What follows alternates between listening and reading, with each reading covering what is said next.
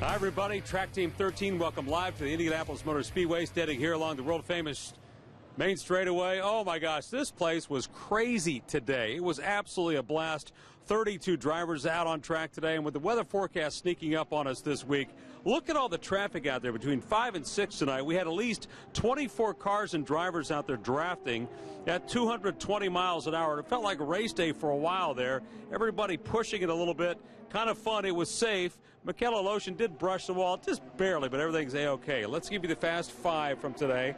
Will Power, the fastest, 224. Helio right there with him. Gabby Chaves, Ryan Hunter-Reay, and Sage Karam making up your top five from today. Andretti Autosport, guess what? They're going to try to put six drivers in the race. A very busy time for them. Here's Jason Spells. At a track in which drivers square off for individual fame and glory, IndyCar team Andretti Autosport is taking a drastically different approach.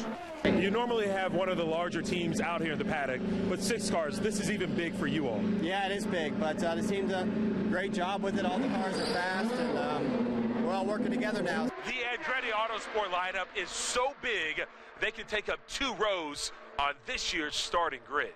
Drivers like Hunter-Reay, Marco Andretti, Alexander Rossi, Jack Harvey, Takuma Sato, and the F1 icon Fernando Alonso are all chasing their racing dreams. Hunter-Reay and Rossi have already won the greatest spectacle in racing. If they hope to win again, they'll have to rely on their teammates. Um, as much as it's six cars on one team, each car is run as its own team, and we have our own decision-making process. So you take the good and the bad, and you you separate it out in the way that you do with your process. Had that kind of information. How key is that, especially as you're getting race ready?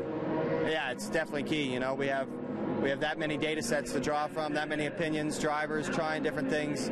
Uh, that's the whole point of running a big team like this. At the Indianapolis Motor Speedway, Jason Spells, Track Team 13.